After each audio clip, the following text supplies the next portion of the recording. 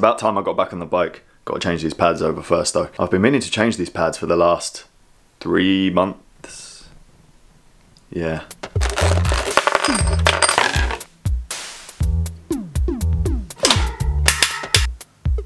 The pads were like close to being dead. Not like dangerous or anything, just close. Oh, and thank you everybody who noticed my new lights. I bought some new fancy lights and I didn't think anyone would notice, but quite a few of you did. Thank you.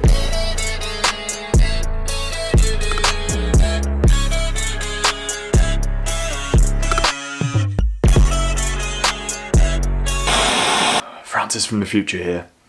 I managed to pull my microphone cable out when I was faffing around waiting for Harry, fiddling with things in my pocket. Normally when a microphone is disconnected, you still get the onboard audio from the camera. So you can usually still salvage a video and still hear what's going on. Only one end of the cable came out though.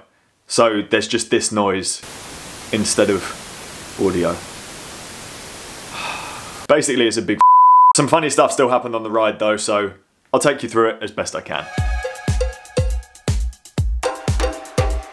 Here's me explaining that this is my first proper ride back after a few days, trying to rest my body after the Everesting I did last week. Not really sure why I chose to ride with Harry, who's rapid, and his easy pace is my fast pace, so all in all, a bad idea.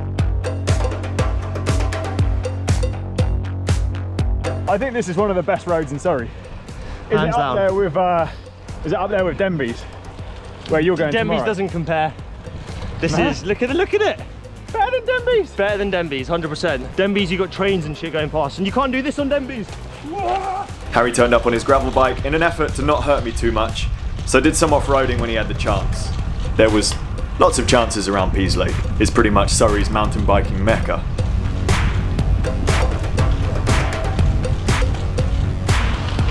I realised when I went, you can do this, it was not the turning that I thought it was. So I was like, I don't know where this is taking me. Wait, you were gone for 10 minutes.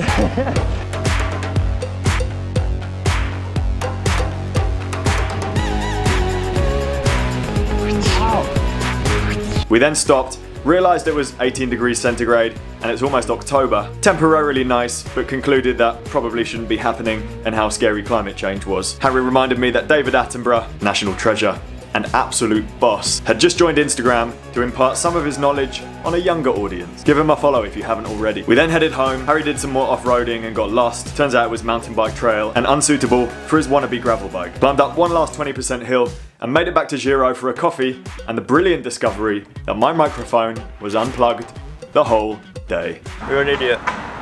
I'm an idiot. you viewers already know I messed up the microphone.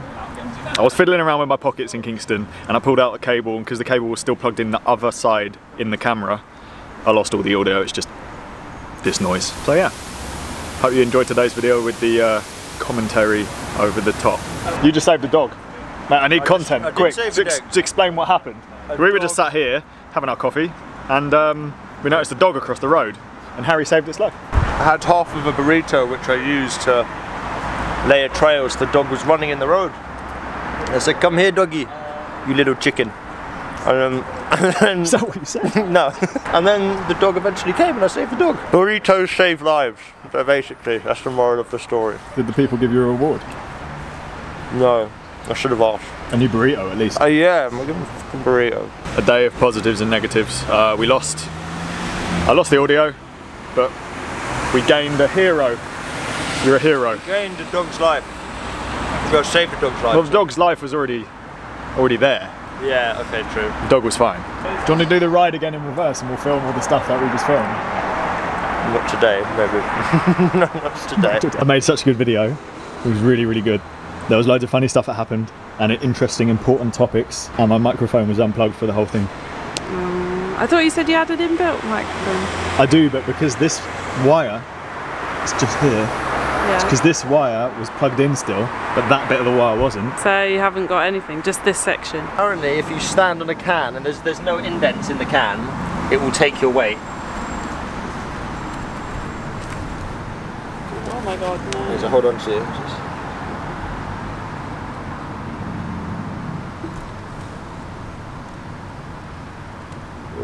Oh, maybe not. So nice easy spin back on my own. Let's be honest, riding with Harry is never going to be an easy day.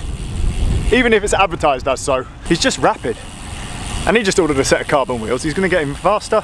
Losing the audio in today's video was kind of unfortunate, but not the end of the world. I could have got really wound up about it, thrown away all the footage and not made a video at all, but I think it's so important to look at these things from a different perspective, see if you can salvage the situation, and see it as an opportunity to do something different. And I hope that came across in the edit of today's video, a style that I'd never normally go for. All in all, a good day, rode my bike in the sun, made a fun video. I'm going to sign off here. Thank you as always for watching. Stay tuned for more videos coming up this week, including the long awaited Wilier that went to the wrong place and, and, isn't going to Newcastle. It is coming down here now, so that should be arriving tomorrow. Please like, comment, subscribe, and I'll see you guys soon.